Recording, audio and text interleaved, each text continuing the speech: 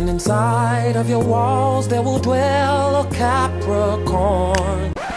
Capricorns are deeply romantic. They love to be in love. They ain't even got time for flirting. They go from hello to how deep is your love for me. Caps are very disciplined. You will not come in between them and their goals. They got more patience than Heathcliff Huxtable. By the time a Cap tell you they like you, your ass be done died. Caps love to be pursued and wooed. They want you to make them feel special. Well, everything ain't the goddamn notebook. Maybe I should start taking notes. Damn it, what do you want? They have a very common sense approach.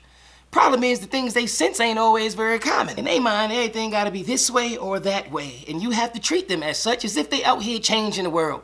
Martin Luther King was a Capricorn, but every Capricorn ain't Martin Luther King. Caps love to argue over details. They live for that shit. A Cap will argue with you for three days straight. If a Cap argue with a Virgo, they'll probably argue longer than a Monopoly game. They argue to death. Literally. Caps are great at handling money and pretty good judge of people. They're loyal, protective, and even kind. They'll give you anything except for their actual feelings. On the inside, they're a little jealous, resentful, and not so good at forgiveness. But don't try to convince them of this, because trust me, you don't have that kind of time. They'll never admit it, but Caps can also be pessimistic. You can put them in a whole nother building, give them a whole nother window, and they'll still have the same damn point of view. Caps are shy, but they're great communicators. They're like great communicators who don't want to communicate. Kinda pointless. Most Caps are a bit detached. Emotional involvement does not come easy to them. They're very conscious about the things that affect them, which kind of makes them think that things only affect them.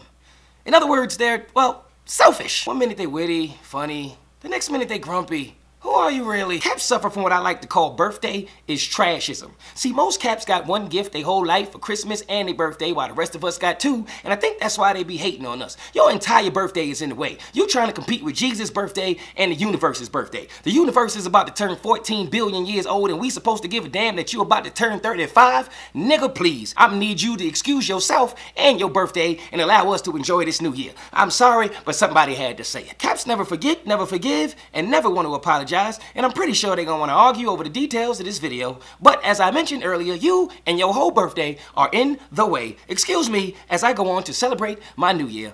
Happy New Year. I love y'all.